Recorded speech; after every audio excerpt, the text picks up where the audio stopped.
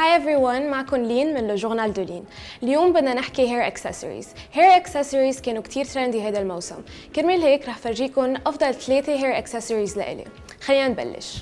أول hair accessory هي ال headband ال headband أو ال flower crown اللي هن كثير دارجين هذا الموسم.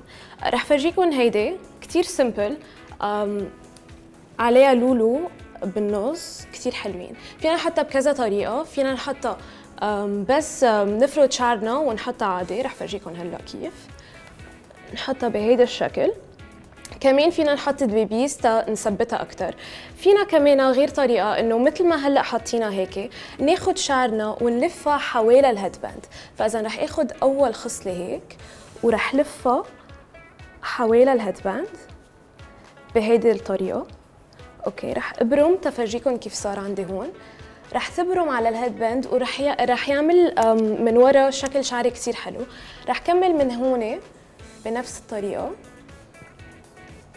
رح لفها حوالي ال headband okay؟ وبرجع فيني ثبت شعري بدبيبيس فيكم تخلوهم هيك تعملوا نص رفع أو فيكم تكملوا كل شعركم وتضبوا كل شعركم لورا حسب الرغبة. تاني accessory معنا هو كمان headband بس أكثر sporty look مثل ما شفنا بأول headband بتعطي هالرومانسية لل look تبعنا.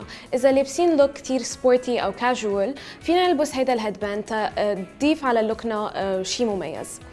هذا ال headband بيجي أضخم بشوي بهذا الشكل وراح أحطه على جبيني لورا. وإذا كان شوي طالعين شعراتي من هون رح نزل الخصل لتحت. بتظبطون حسب الرغبة. وهيدي هي. ثالث وآخر accessory عندي لكم هو headpiece بس شوي completely غير عن الباقيين اللي فرجيتكم إياهم. رح يكون أكثر Indian style رح أقسم أول شيء شعري بالنص. رح أفرق شعري بهالطريقة. ما رح أعملها كثير perfect بالمشط كرمال تضلها هيك تعطي هيدا ال natural look okay هيدي ال piece بتجي بنحطها على ال crown of the head على ال top of the head ورح تضيف لنا هيك look كثير كثير حلو. رح احطها بهيدي الطريقة. okay من هون مش ظابطة رح ظبطها كمان شوي. هيك فينا نضيفها لحيلا ال look فينا نعتمدها لاطلالي بالليل أو خلال النهار كمان حسب الرغبة.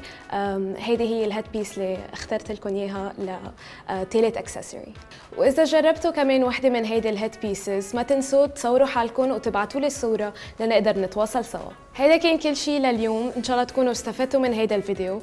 إذا عندكم حيلا سؤال أو تعليق ما تنسوا تتركوا لي إياه بخانه التعليقات. وكمان ما تنسوا تعملوا subscribe لقناة دنيتي وتعملوا لي follow على فيسبوك انستغرام وتويتر تحت اسم Le Journal de Leen